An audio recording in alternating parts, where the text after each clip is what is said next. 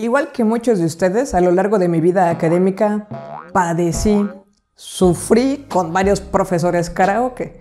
Sí saben cuáles son esos, ¿verdad? ¿Serán acaso los que representan esa canción de Quiero ser la consentida de mi profesor? Eh, no particularmente, aunque eso también puede ser una mala práctica que mucha gente ha de sufrir. Pero me refiero a los profesores que proyectan presentaciones llenas de texto y luego se ponen a leerlo en voz alta tal cual, lenta y dolorosamente. Ah, claro. Y uno como estudiante piensa, si la clase va a ser leer todo eso tal cual, ¿no me lo podrías dar a leer en mi casa? Yo leo más rápido y bonito. Exacto. Y lo que sucede cuando eres parte de este grupo de estudiantes es que quizás lees rápido y luego ignoras al profesor, o lees al mismo tiempo lento, o te aburres, o tienes la tentación de distraerte con cualquier cosa.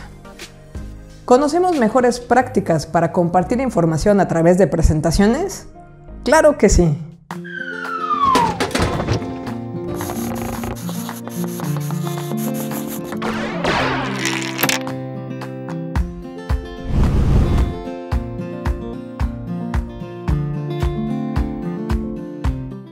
Los principios multimedia de Mayer son una serie de recomendaciones para crear precisamente material multimedia que se basan en alrededor de 100 experimentos que realizó Richard Mayer buscando identificar maneras óptimas de preparar este material de modo que la gente aprenda mejor.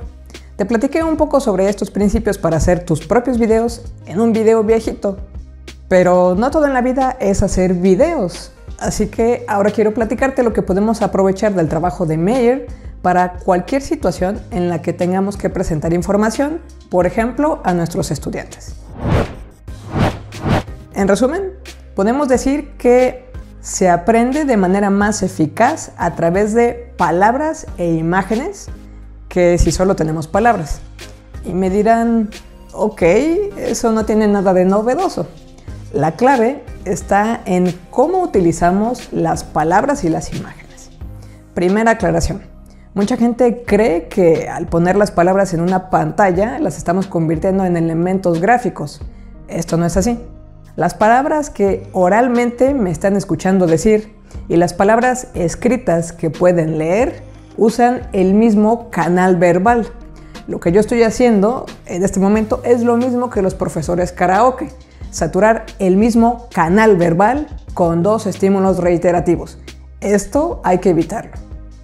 En cuanto a los gráficos, estos pueden ser estáticos o animados. Lo importante es que no sean elementos simplemente decorativos. Como te dije en el primer video de esta serie, la memoria a corto plazo solo puede mantener algunos elementos, esta memoria es limitada, y además se distrae fácilmente. Si en una diapositiva agregas un elemento decorativo, lo que estás haciendo es agregar un elemento extra que tus estudiantes tienen que descifrar y buscar qué relación tiene con el tema, gastando con esto parte de este recurso limitado que es la memoria operativa. Y no queremos gastar esta memoria operativa en algo que no es relevante. Así que especialmente si estás discutiendo conceptos complejos, evita gráficos que no aporten al tema y solo sean decorativos. Si tu objetivo es entretener, está bien tener elementos decorativos, pero si tu objetivo es que te comprendan, evítalos.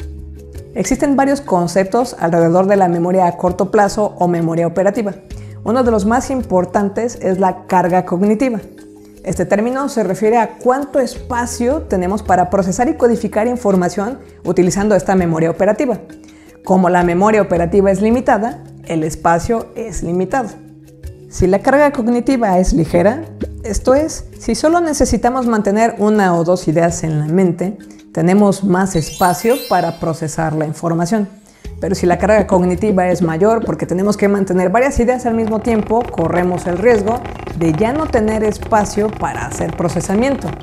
Por eso es que los elementos decorativos no se estorban, porque se agregan a la carga cognitiva. Igual que en el video pasado te comentaba que es importante evitar sesiones muy largas y en cambio es útil hacer pausas intencionadas, es importante evitar llenar de mucho texto una diapositiva. ayuda a tus estudiantes manteniendo una carga cognitiva baja que les facilite procesar la información.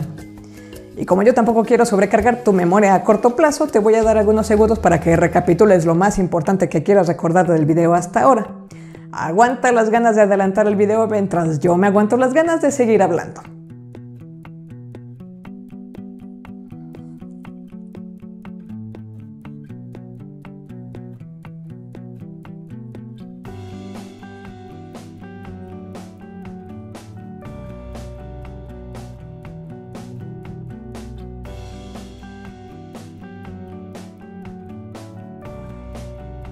Ahora, si digo que no hay que mantener demasiados elementos en la memoria a corto plazo, ¿cómo entra esto con el principio multimedia de tener palabras e imágenes juntas? Lo que sucede es que las imágenes y las palabras se procesan en canales distintos en nuestros cerebros. Y si usamos ambos canales al mismo tiempo con información que se complementa, sí estamos facilitando el proceso del aprendizaje. Concluyendo, si vas a agregar texto a tus diapositivas, pídele a tus estudiantes que ellos lo lean mientras tú guardas silencio. No caigas en la tentación de repetir lo que ellos pueden leer. Ellos lo pueden leer. 2. No abuses de la cantidad de texto oral o escrito que quieras que tu audiencia procese en un periodo breve de tiempo. 3.